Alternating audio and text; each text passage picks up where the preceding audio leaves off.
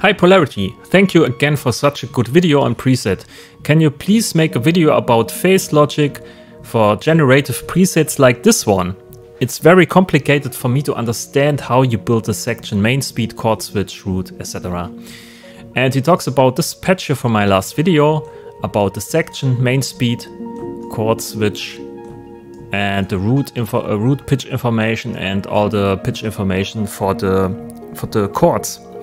So um, to show you this, I turn this down, put this on my second monitor and create a new polygrid.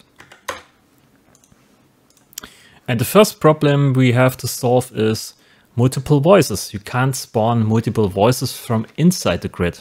When you press multiple keys on the keyboard and turn here or increase the voices number, then you can't spawn virtual uh, devices for each voice from the grid. But when you create voices or note informations from inside the grid, you have only monophonic uh, possibilities. So we need to turn this down to mono. And now to create multiple voices, we just duplicate um, the oscillator and the envelope here. And now we have just a normal So we have three oscillators outputting the same pitch uh, and sound on the same pitch. So now we need a pitch module and wire this up here to the pitch input. And to actually use these pitch informations, we have to turn off the pre-cords and turn up this knob. So now we have the same output because we have only C3 here as pitch information input. So we want to create a minor chord, for instance. A minor chord has a root note, which is in our case C3, which is also zero, and uh, one note that is three semitones above the root note, and one note that is seven semitones above the root note. So now we have a minor chord. But when we press different keys on the keyboard, we have always the same pitch, always the same chord. So to change this, we use an add module here and go with the pitch information into this add module. And the output goes into the pitch jack from the oscillator here. So now we have still the same output, because the input of the first jack is still zero. There's nothing going in there. So we using the pitch from uh, the root module, go in there, and it's still the same output because our root node is zero. But now we can change our root node here.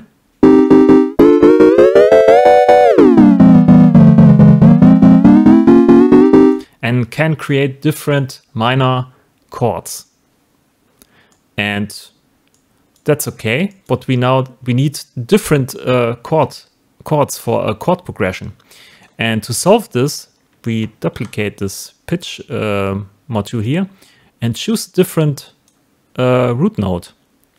And now we want to switch between these two. And to make this happen, I use a merge module and go with the pitch information into the merge module and then uh, into the other modules. So now we can switch between the first root node and the second root node. And I use for this small demonstration just a value module here and go with the value module into the uh, yeah select jack. I think it's called select. Yeah, select in. And now we can switch with the knob. As you can see, it's a transitioning. It's a morph. It's not a um, a real step, but this can lead to interesting results. So we have our first chord and our second chord, and you can morph between them with this value. Uh, with this value module because there's no real step. So this can lead to interesting results. But that's not what we want. We want to switch between the chords uh, in uh, with real steps. So I'm using the gate module here. go into this, select everything, and then I turn this down to two steps. And you can see we switch now between uh, chord 1 and chord 2. But we need to now uh, change the speed of this. And the easiest way is to just turn down here the transport speed because that's where the phase uh, phase information comes from. So we go back to 120. But now we use a phase in. And this is basically the same. When we have this pre-cord here on, or disconnected and this off. So this is the same. Uh, the only difference is that we can now hook something in between the phase input and the gates module. And for this we use the scaler. So now we have the scaler between the phase in and the gates. And now we can change the speed or the division of the speed with this module.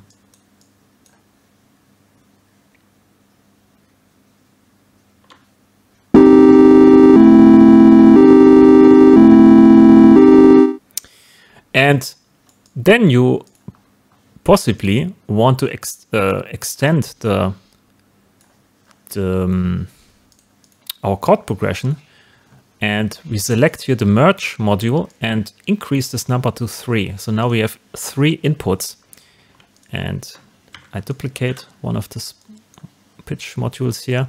And now we have three chords in our chord progression. And we have also to raise the number here to 3. No, we don't have to raise the number. The problem is um, the more numbers you choose, it doesn't change anything here. You always switch between the first input and the last input. And the reason for that is that the merge module needs an actual number. And the gates module just outputs 0 and 1. So it just switches between zero and the highest number, which is our last chord basically. So it doesn't matter how many steps you choose here, it's always the same output. So um, what we do now is we use something that actually increases something on a gate signal, and that's the counter. And the counter counts up to a different value. So we take three, go into here, and put this into, into this. So now every, every time we have a gate uh, signal happening, this counter counts up, as you can see. And it switches between the different inputs here. And you still can see the yellow marker is sometimes not really uh, disabled on some of the inputs. That's because we have some kind of interpolation happening. So we need to wrap use the wrap module here, uh, the wrap checkbox. So now we have a hard switch between all the inputs.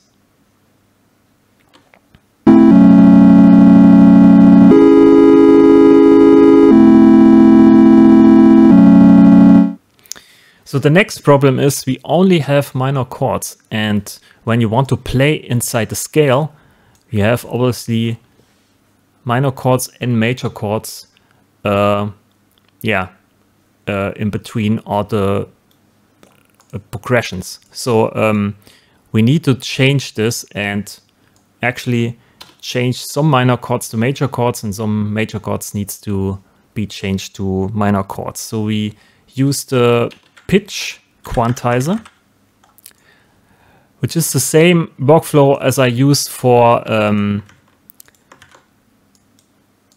uh, for some devices with the diatonic transposer and the multi-note module, where I just correct the notes to the right values, and it's the same workflow basically.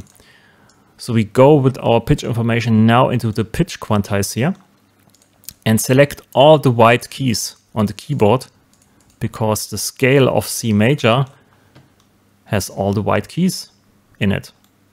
So now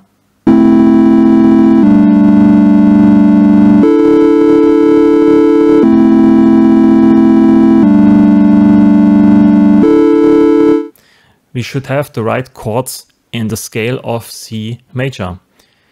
And you can change this to anything you want.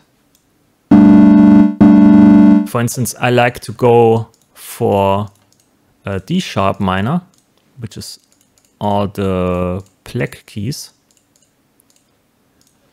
And uh, the note F.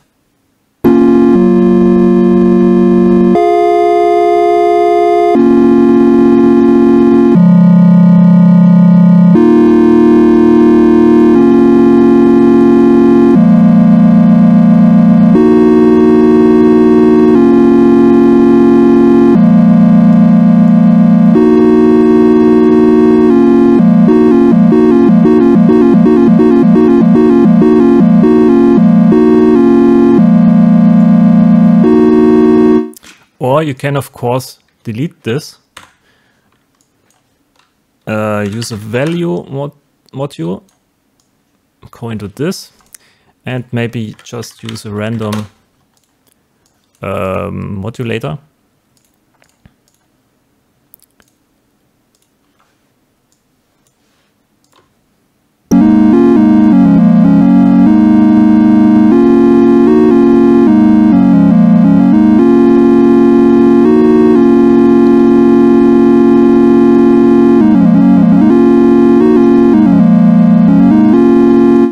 And just morph between the chords and the notes in the chord progression.